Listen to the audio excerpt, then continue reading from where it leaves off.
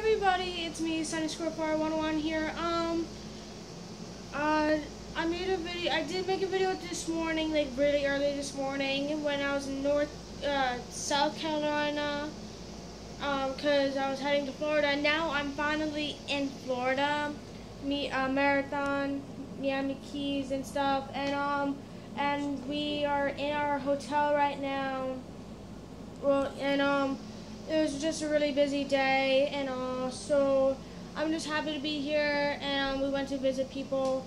So um, I just wanted to do a little update so you know that I'm in Florida now, and I'm pretty much settled. I'm I'm having my dinner at like nine something at night, cause we didn't get here till like around like when did we get into marathon? Eight, uh, seven something. I don't know. I don't remember. I think it was like seven something when we got here. So, but um, kind of a busy day and um, long, very long drive. So I'm just It's- happy that we're It's here. not it's telling me it's the wrong password. For what? The Wi-Fi. There's a password for Wi-Fi. Yeah. Sorry guys. Um, yeah. Sorry, sorry about that. So, but um, yeah. Very crazy day and very pa- crazy past two days.